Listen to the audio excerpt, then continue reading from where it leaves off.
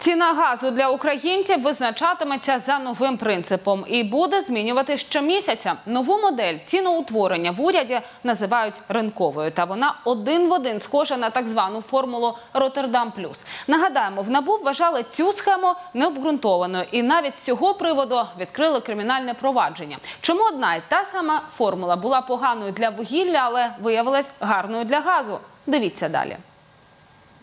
Ціну на газ, український чи імпортний, віднині продавці складатимуть для нас за новим принципом. Візьмуть вартість пального у голландському хабі TTF, додадуть витрати за доставку. До прикладу, у січні на ціннику буде 4650 гривень за тисячу кубометрів, плюс податок на додану вартість та витрати на транспортування. Міністр енергетики Олексій Оржель каже, остаточна вартість 6-7 тисяч гривень, залежно від облгазу.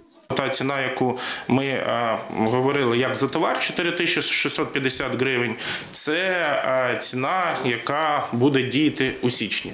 В лютому формула можна слідкувати за індексами хабу, можна самим розраховувати ціну. Я маю ну, певну е, впевненість в тому, що в лютому ми можемо ще подивитися на певне зниження ціни на газ. Формування цін на газ вручну більше не буде. Нова модель розрахунку наближає нас до прозорих ринкових правил, переконаний екс-міністр енергетики Іван Плачков.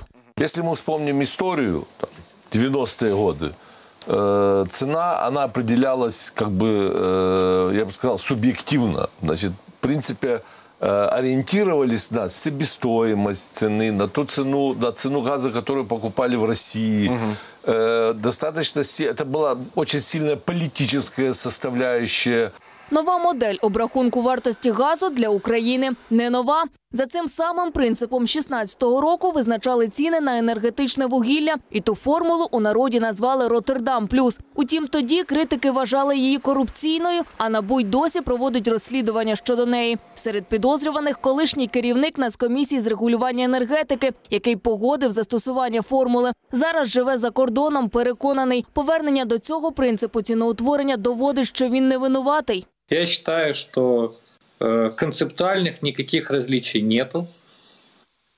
Принцип такой же, как и был в э, демонизированной формуле Роттердам плюс. То бишь правительство этим решением подтверждает, что подход ранее использованной комиссии, когда и возглавлял ее я, был правильный.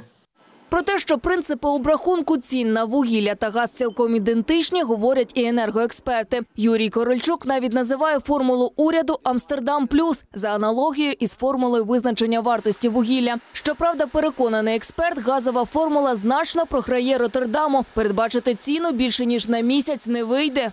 Роттердам плюс по ньому розраховувалась ціна е, єдина на весь рік. У випадку ж газу е, Амстердам плюс е, біржа ТТФ, там буде щомісячно розраховуватись ціна. Тобто вона буде змінюватися. Сьогодні вона може бути і дешевша 120 доларів. Уже через, наприклад, 7 місяців, 8 місяців вона може бути там і 250 доларів. Однак слідство стосовно формули Роттердам Плюс досі триває. Доводи щодо її невиправданості і раніше не були переконливими для суду та енергоекспертів. А тепер взагалі розсипаються, коли держава запроваджує аналогічну формулу для газу. Олена Кузьменко, Олексій Кашпоровський. Деталі.